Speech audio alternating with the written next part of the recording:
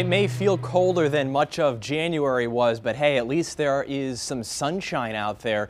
I think most of the sun we're seeing across the area is in the Champlain Valley, but even if you look out into the distance, some of the mountains, you can see some snow falling, and that's the forecast for today and tomorrow. The air simply goes up and you get some mountain snow. But look at this, it's 27 in Burlington. The average high on February 2nd is 28. We're actually starting to go up now in the average department. So we're right where we should be. These are seasonable numbers.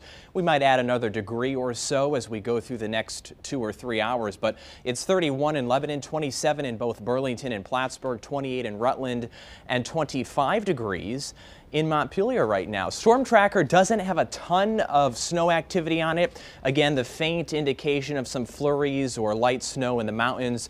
A good amount of clouds, especially as you head south. But again, the Champlain Valley, also northern portions of Clinton, Franklin, and St. Lawrence counties in New York a good amount of sunshine right now, and I think that lasts for a good portion of the afternoon. The wider perspective shows that we still have this persistent northwest flow, and I just checked the Great Lakes ice cover. It's only at 8.5 percent. Basically, when the lakes get iced over, you shut off the lake effect snow machine in clouds because the lakes are the moisture source. But it's just been warm enough that the lakes have not been able to freeze over. So that's why whenever the wind comes over the water, you get in on the clouds and some mountain snowfall. So in Vermont today, 25 in Stowe, 25 in Morrisville, 28 in Burlington. So if you're going out for maybe an hour or two skiing, the weather is really nice. It's not uh, all that cold at all. 30 in Windsor, 32 in Lebanon, the high. And in southern Vermont, we're looking at 30s as well. 30 in Wilmington, 30 in Springfield, and 30 in Ludlow. So Futurecast going through the afternoon shows the blend of clouds and sunshine, a few flurries here and there.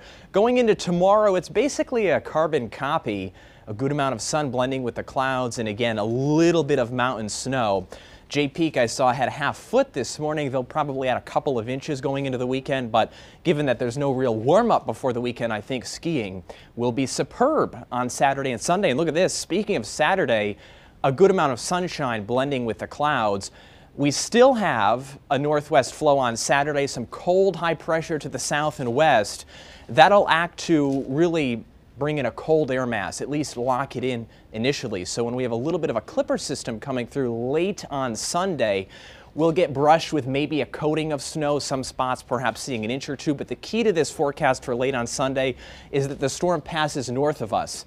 That's not a great track for maximizing the amount of snowfall. So I really think it's a minor deal, and the timing is skewed later on Sunday. So really overall, the weekend looks quite nice. The snow showers both today and tomorrow. A dry day Saturday. Most of Sunday is dry. Again, that clipper skews later in the day.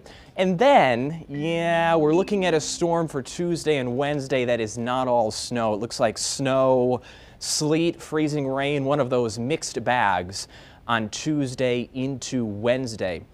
You'd think it'd be snow with that high of 18 on Monday, but the track probably isn't going to be ideal. So plenty of stuff to keep our eyes on, and of course we'll have a full update tonight on NBC 5 News at 5. Leanne, back over to you.